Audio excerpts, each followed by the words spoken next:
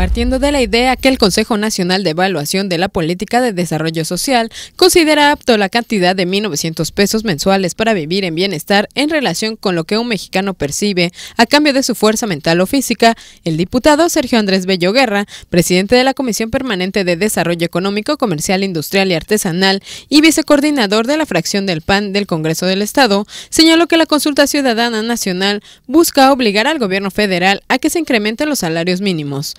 El objetivo es recolectar de 1.700.000 a 1.800.000 firmas para presentarlas en el 2015 en elección federal, por lo que agregó que el formato para la consulta ciudadana ya está disponible en la página del PAN. Es una consulta ciudadana para obligar al gobierno a que se incrementen los salarios mínimos a nivel nacional. Eh, es absurdo el que pensemos que una persona pueda vivir en los niveles que el Coneval dictamina como de bienestar con 1.900 pesos al mes. Además, reconoció que el salario mínimo debe de regularse tanto en el sur como en el norte y no dividir por zonas, lo que permitirá que los mexicanos despeguen rumbo a la competitividad. Creo que ya también debemos de olvidar un poquito tratar de conseguir que el sur